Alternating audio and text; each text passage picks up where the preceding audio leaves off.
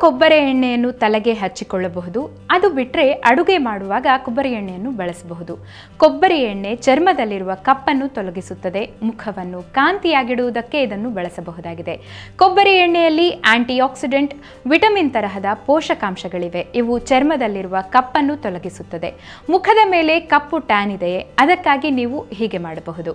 ಒಂದು tea spoon ಕೊಬ್ಬರಿ ಎಣ್ಣೆ, ಒಂದು ಟೀ ಸ್ಪೂನ್ ಬೇಕಿಂಗ್ ಸೋಡಾ ಹಾಕಿ ಚೆನ್ನಾಗಿ ಕಲಸಿ ಇದನ್ನು ಮುಖದ ಮೇಲೆ ಅಪ್ಲೈ ಮಾಡಿ ಬೆರಳಿನಿಂದ ಚೆನ್ನಾಗಿ ಸವರಬೇಕು. ಐದರಿಂದ ಹತ್ತು ನಿಮಿಷಗಳವರೆಗೆ ಇದೇ ರೀತಿಯಾಗಿ ಮಾಡಿದ ನಂತರ ಇದನ್ನು ತೊಳೆಯಬೇಕು. ಹೀಗೆ ಮಾಡಿದರೆ ಮುಖದ ಮೇಲೆ ಕಪ್ಪು ಕಲೆ ಹೋಗುತ್ತದೆ. ಜೊತೆ ಜೊತೆಗೆ ಮುಖವು ಕಾಂತಿಯುತವಾಗುತ್ತದೆ. ಹೀಗೆ ವಾರಕ್ಕೆ ಎರಡು ಬಾರಿ ಅಪ್ಲೈ ಮಾಡಿಕೊಳ್ಳಬೇಕು. ನಿಂಬೆಹಣ್ಣಿನಲ್ಲಿ citric acid, vitamin C, bleaching ಲಕ್ಷಣಗಳು ಚರ್ಮದಲ್ಲಿರುವ ಕಪ್ಪನ್ನು ತೆಗೆದುಹಾಕುವುದಕ್ಕೆ ತುಂಬ ಸಹಾಯ ಮಾಡುತ್ತವೆ.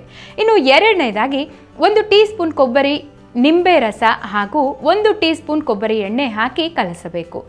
ಇದು ಒಂದು ಚಿಕ್ಕ ಮಿಶ್ರಣವಾಗಿ ತಯಾರಾಗುತ್ತದೆ. ಈ ಮಿಶ್ರಣವನ್ನು ಇಪ್ಪತ್ತು ನಿಮಿಷ ಮುಖಕ್ಕೆ ಹಚ್ಚಿ ಫೇಸ್ ವಾಶ್ನಿಂದ ತೊಳೆದುಕೊಳ್ಳಬೇಕು. ಹಾಗೆಯೇ ನೀವು ಅಂಡರ್ ಆರ್ಮ್ಸ್ ಹಾಗೆ ಕಪ್ಪಾಗಿರುವ ಜಾಗಕ್ಕೆ ಅಪ್ಲೈ ಮಾಡಿಕೊಳ್ಳಬಹುದಾಗಿದೆ. ಹೀಗೆ ಮಾಡಿದರೆ ಚರ್ಮ, ಕಾಂತಿ ಹಾಗೂ ಮೃದುವಾಗಿರುತ್ತದೆ. ಕಣ್ಣಿನ ಸುತ್ತ ಕಪ್ಪು ರೇಖೆಗಳಿದ್ದರೆ ರಾತ್ರಿ ಮಲಗುವಾಗ ಕೊಬ್ಬರಿ ಎಣ್ಣೆ ಹಚ್ಚಿ ಎರಡು ನಿಮಿಷ ಅದನ್ನು ಸವರಿ ಮಲಗಬೇಕು. ಹೀಗೆ ಮಾಡಿದರೆ ಕಣ್ಣಿನ ಹತ್ತಿರ ಇರುವ ಕಪ್ಪು ಕಲೆಗಳು ಹೋಗಿ ಕಣ್ಣು ಕಾಂತಿಯುತವಾಗುತ್ತದೆ. ತಿಳಿಯಿತಲ್ಲವೇ, ಕೊಬ್ಬರಿ ಎಣ್ಣೆಯಿಂದ ಕೂದಲು ಹಾಗೂ ಅಡುಗೆಗೆ ಮಾತ್ರವಲ್ಲ, ನಮ್ಮ ಚರ್ಮಕ್ಕೂ ಕೂಡ ಅನೇಕ ರೀತಿಯ ಲಾಭಗಳಿವೆ. If you like this video ಬೇಗ ಲೈಕ್ ಮಾಡಿ ಕಾಮೆಂಟ್ ಮಾಡಿ ಶೇರ್ ಮಾಡಿ ಹಾಗೂ ಯೋಯೋ ಟಿವಿ ಕನ್ನಡವನ್ನು ಸಬ್ಸ್ಕ್ರೈಬ್ ಮಾಡಿ.